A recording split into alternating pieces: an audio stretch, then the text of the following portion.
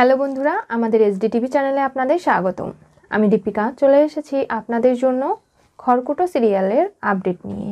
অনন্যা কোর্টে দাঁড়িয়ে সৌজন্যকে মিথ্যাবাদী প্রমাণ করার জন্য সব কিছু বলতে শুরু করে। বলে, আমাদের যে ক্লায়েন্টরা ছিল বিদেশে, তারা বিদেশ থেকে এখানে এসেছিল। আমি সৌজন্যর বাড়িতে দশমীর উৎসব দেখতে যাই, আর সৌজন্যের নামে সিঁদুর আমার স্মৃতিতে এসে পড়ে।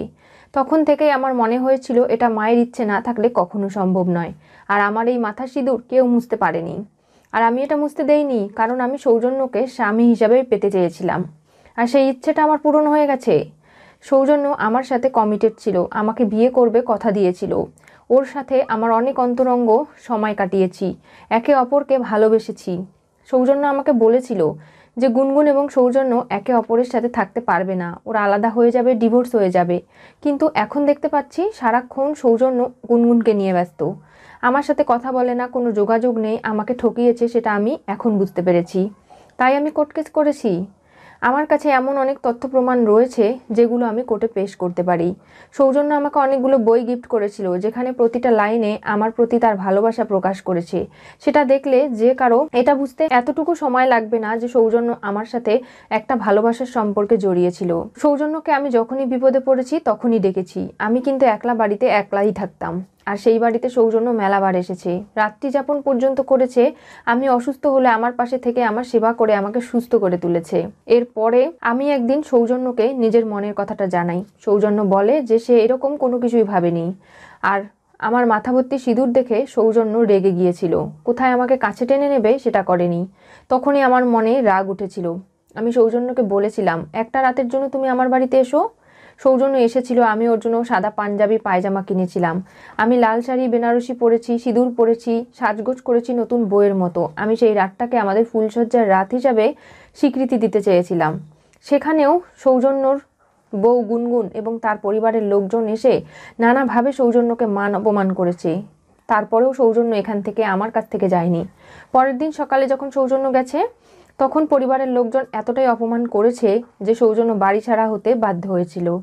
এরপর ইনস্টিটিউশনের একটা গেস্ট রুমে সৌজন্য থাকছিল। হঠাৎ করেই সেখানে সে অসুস্থ হয়ে পড়ে। সেই মুহূর্তেও কিন্তু আমি সৌজন্যর পাশে ছিলাম। এরপরে আমি আমার বন্ধুদের ফোন করলে অফিস থেকেই সৌজন্যকে হাসপাতালে ভর্তি করানো হয়। তারপরে সৌজন্যের বাড়ির লোক গুনগুন সবাই এসে উপস্থিত হয়। তার আগে কিন্তু কেউ ছিল না সৌজন্যের জীবনে। আমি ছাড়া। তাই আমি হাত জোর করে অনুরোধ করব মহামান্য বিচারপতির কাছে, তিনি যেন ন্যায় বিচার করে। একটা মেয়ে হয়ে আমি যেন ন্যায় বিচার পাই। সৌজন্যর সাথে আমার এমন অনেক ভালো সময় কাটিয়েছি, এমন অনেক ভালো কিছু করেছি, যেগুলোর জন্য সৌজন্য কিন্তু আমাকে প্রশ্রয় দিয়েছে। কখনো সৌজন্য বাধা দেয়নি, কখনো বলেনি যে আমি যা কিছু করছি সেগুলো ভুল বা খারাপ করছি। তাহলে না আমি বুঝতাম যে সৌজন্যর আমার সাথে সম্পর্কে সম্মতি রয়েছে না অসম্মতি রয়েছে, সেটা সৌজন্য কখনোই বোঝায়নি। গুনগুন এদিকে কোর্টে অনন্যার সমস্ত কথা শুনে অবাক হয়ে যাচ্ছে। অনন্যা নেমে আসার পরেই সৌজন্যের পক্ষে লয়ার জানায় যে জুই এখানে উপস্থিত রয়েছে অনন্যার মা, তার সাথে কথা বলতে চায়। জুইকে যখন কাঠগড়ায় ডাকা হয়, জুই এসে গীতা পাঠ, গীতার উপর হাত রেখে বলে, যা বলবে সত্যি বলবে, মিথ্যে কোনো কিছু বলবে না। জুইকে জিজ্ঞাসা করা হয় যে, কেন আপনি মেয়ের সাথে থাকেন না? কারণ আমার মেয়ে চায় না বলে আপনার মেয়ে এখানে আদালতে দাঁড়িয়ে যা কিছু বলেছে, সবটা কি সত্যি বলেছে? না, অর্ধ সত্যি বলেছে। তার মানে? আপনার কাছেই তো গুনগুন মানুষ হয়েছে, এটা কি সত্যি নয়? হ্যাঁ এটা সত্যি। আপনি স্বামীর ঘর ছেড়েছেন, এটা কি সত্যি নয়? হ্যাঁ এটা সত্যি। তবে একটা মেয়ে কেন স্বামীর ঘর ছাড়ে? নিশ্চয়ই এর পেছনে কোনো বড় সড়ো কারণ রয়েছে। তাছাড়া তো ছাড়ার কথা নয়, সেই কারণটা হলো আমার স্বামী তার বড় ভাইয়ের বইয়ের সাথে সম্পর্কে জড়িয়েছিল, অবৈধ সম্পর্কে, আর তার কারণ আমি মানসিক টেনশনে প্রতিনিয়ত অসুস্থ হয়ে পড়ছিলাম। আমার ওই বাড়িতে থাকা একদম দুষ্কর হয়ে উঠছিল। চোখের সামনে আমার ভাসুরের বইয়ের সাথে এইভাবে আমার স্বামীর অবৈধ সম্পর্ক দেখতে দেখতে। তাই একদিন আমি ঘর ছেড়ে বেরিয়ে এসে আমার দাদার বাড়িতে আশ্রয় নিই। আসার সময় আমার মেয়েটাকে আনার আমি অনেক চেষ্টা করেছিলাম, কিন্তু অনন্যাকে ওরা আনতে দেয়নি। আমি ফোন করলে ওরা ফোন কেটে দিত। অনেকবার ওই বাড়ির দরজায় গিয়ে অনন্যার সাথে আমি দেখা করার জন্য উকিঝুঁকি মেরেছি। ওই বাড়িতে গিয়েছি, কিন্তু কেউ আমাকে ওর সাথে দেখা করতে দেয়নি। ততদিনে অনন্যা আস্তে আস্তে বড় হয়ে উঠছিল। ওর বাড়ির লোকজন ওর কানে বিষ ঢেলেছে। তাই ও ওর মাকে কোনোভাবেই সহ্য করতে পারতো না। অনন্যা চিৎকার দিয়ে ওঠে। বলে, মিথ্যে বলছে উনি। আমার বাড়ির লোক আমার কানে কোনো বিষ ঢালেনি। বিচারপতি রেগে যায়, বলে, আপনি যখন কথা বলছিলেন, আপনার মা কিন্তু কোনো কথা বলেনি। তাই আপনি, আপনার মায়ের সময় কোনো কথা বলবেন না। ওনাকে বলতে দিন ওনার বয়ান। জুই জানায় যে একদিন তার বিশ্বাস ছিল যে কোর্ট কাচারি করলে তার মেয়েকে হয়তো সে ফিরে পাবে না। তার স্বামী ফিরে পেতে দেবে না। কিন্তু কোর্ট কাচারি না করলে তার মেয়ে বড় হওয়ার পরে যদি তার কাছে ফিরে আসে, কিন্তু তার এই স্বপ্ন স্বপ্নই থেকে গেছে কখনোই অনন্যা তার মাকে ভালোবাসতে পারেনি, মায়ের কাছে এসে মাকে জড়িয়ে ধরতে পারেনি। মা হাজারবার অনন্যার কাছে ছুটে গেলেও কখনো অনন্যা দূরে সরিয়ে দিয়েছে, তো কখনো মান অপমান করে তাড়িয়ে দিয়েছে। তাই একটা সময় গুনগুন ওর মা বিদেশে থাকতো। সেই সময় আমার দাদা অনেক ব্যস্ত থাকতো, ডাক্তার মানুষ। তাই বাড়ির হেল্পিং হ্যানের সাথে গুনগুন অনেক দিন থেকেছে। তখন গুনগুনের একটা ডিসঅর্ডার হয়ে যায়। গুনগুন খুব জেদি হয়ে যায়। যখন যেটা চায় সেটাই করতে ভালোবাসতো। যা করবে সেটাইতেই সম্মতি থাকতে হবে। সেই সময় আমি গুনগুনদের বাড়িতে গিয়ে উপস্থিত। তখন আমি ওকে বুকে জড়িয়ে নেই। কিন্তু নিজের মেয়ের ভালোবাসা টান তো সেটা নিজের মেয়ের মতোই থাকে। যতই আমি গুনগুনকে জড়িয়ে নিজের মেয়ের দুঃখ কষ্ট ভোলার চেষ্টা করি না কেন, পারিনি। আর গুনগুনও নিজের মায়ের কাছ থেকে যে ভালোবাসাটা আশা করেছিল, সেটা পায়নি। তাই বলে গুনগুনের পিসিমণির কাছ থেকে যতই ভালোবাসা পাক, সেটা কিন্তু পূর্ণ হয়নি। আমি আমার জীবনে অনেক কষ্ট পেয়েছি, কিন্তু আমার দাদা যদি আমাকে আশ্রয় না দিত, গুনগুনকে আমি না পেতাম, তাহলে হয়তো আমার জীবনের কোনো মানেই থাকতো না। একটা সময় যখন গুনগুন আস্তে আস্তে পার্টি করতে ভালোবাসে লাইফটাকে এনজয় করতে ভালোবাসছে, তখনই আমার দাদার অনেক চিন্তা টেনশন হতো। যে গুনগুন ঠিক করে লেখাপড়া করে না, ওর মেধা বুদ্ধি খুব ভালো, কিন্তু মন দেয় না পড়াশোনায়, তাই কোনো রকমে পাশ করে যায়। আমার দাদা ভাবলো এবার গুনগুনকে একটা বিয়ে দিতে হবে তাহলে যদি গুনগুন ভালো থাকে, মানুষের মতো মানুষ হয়, কারণ গুনগুনের মন রয়েছে সোনার মতো খাঁটি, সেই মনে কোনো কাদা নেই। কারণ গুনগুন সবাইকে ভালোবাসতে জানে, আমার গুনগুনের এই গুণটা রয়েছে।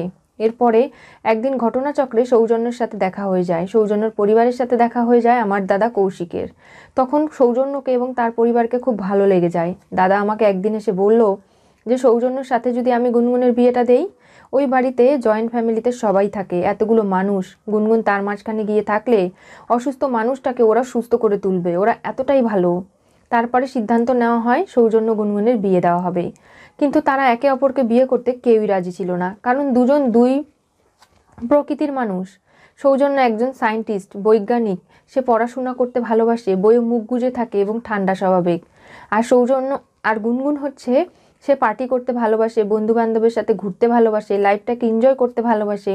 কারণ ছোট থেকে যে মাকে পায়নি সেই মাকে না পাওয়ার, ভালোবাসা না কাছে পাওয়ার, সেই অনুভূতিগুলো, গুনগুন এইসব কিছু করেই ভুলে থাকতে চাইতো। কিন্তু বিয়ের দিন আমি হঠাৎ করেই সৌজন্যর বাড়িতে দেখতে পারলাম অনন্যাকে। জানতে পারলাম। সৌজন্যেরই অ্যাসিস্ট্যান্ট হয়ে অনন্যা কাজ করে সৌজন্যের সাথে অফিসে কলকাতায়। অথচ আমি জানি না, মা হয়ে আমার কাছে সন্তানের কোনো খোঁজ নেই বা সন্তানও আমার কখনো খোঁজ করার চেষ্টা পর্যন্ত করেনি। আর তখনই আমি নিজে যেচে গিয়েছিলাম অনন্যার সাথে কথা বলতে। ও আমাকে বাড়ি ভর্তি বিয়ে বাড়িতেই অপমান করে দিয়েছিল। মা বলে, আমাকে স্বীকার করে না, আমাকে কতটাই না ছোট করেছিল, চোখের জল ফেলিয়েছিল। সেই দিনটার কথা আমি কখনো ভুলতে পারিনি। আমার মেয়ে জীবনে পড়াশোনা করেছে, কিন্তু ভালো মানুষ হয়ে উঠতে পারিনি। গুনগুন যতটা ভালো মানুষ, মনের দিক থেকে যতটা পরিষ্কার, সেটা কিন্তু কখনোই অনন্যা নয়। অনন্যার হাটে হাড়ি ভাঙিয়ে দেয় কোর্টরুমে সবার সামনে তার মা। তখনই বিপর্কীয় উকিল অনন্যার মতোই যে মানসিকতা খারাপ, যে মিথ্যে দিয়ে সত্যিটাকে প্রমাণ করার চেষ্টা করে, সেই উকিলটি রেগে যায়। বলে, আপনি মিথ্যে বলছেন? এই সমস্ত কথা এখানে বলবেন না। আপনি না শপথ বাক্য পাঠ করেছেন? জুয়ের পক্ষের উকিল রেগে যায়। বলে, আপনি আমার ক্লায়েন্টের সাথে ভালো করে কথা বলুন। মিথ্যে বলছে মানে? সেটা আপনি তথ্য প্রমাণ দিয়ে কোর্টকে বোঝান। কিন্তু মুখের কথায় তো কোনো কিছু আসবে না। আপনি যখন কথা বলছিলেন, তখন তো আমি কথা বলিনি। আর আমার ক্লায়েন্টের সাথে আপনি এই ধরনের আচরণ করার সাহস কী করে পান? বিচারপতিও রেগে যায়, বলে, আপনি বসুন। আপনার যখন জিজ্ঞাসাবাদ করার সময় আসবে, তখন আপনি করবেন। তার আগে নয়। জুই আজকে যে যতটা কষ্ট পেয়েছে, চোখের জল ফেলছে, অনন্যার একটা একটা করে সমস্ত চক্রান্ত ভেদ করে যাচ্ছে। আর অনন্যা যে বইগুলোর কথা বলেছে, যেগুলোর ওপর সৌজন্যর হাতের লেখা রয়েছে, সেগুলো তো মিথ্যে, সেটা গুনগুন আগেই জানতে পেরেছে। কারণ গুনগুনকে ওই বইগুলো দিয়ে অনন্যা মনের মধ্যে সন্দেহ ঢোকাতে চেয়েছিল। পরে সৌজন্য যখন খুব ভালো করে দেখে বুঝতে পেরেছে এটা সৌজন্যের হাতের লেখা নয়, তখনই গুনগুন বুঝতে পেরেছে। এরকম অনেক মিথ্যে প্রমাণ অনন্যা জোগাড় করবে। যেগুলো আসলেই মিথ্যে, আর সেগুলো ভেদ করাটাই হচ্ছে গুনগুনের কাজ।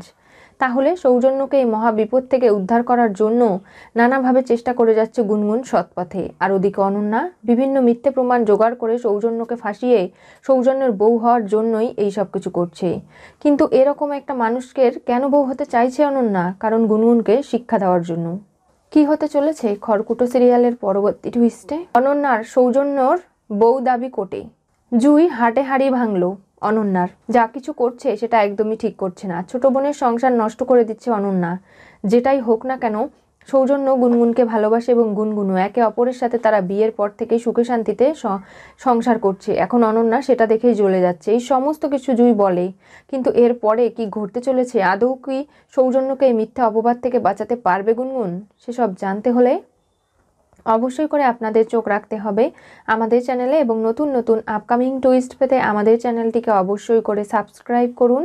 লাইক শেয়ার কমেন্ট করতে ভুলবেন না এবং পাশে থাকা বেল বাটনটি অবশ্যই করে ক্লিক করুন।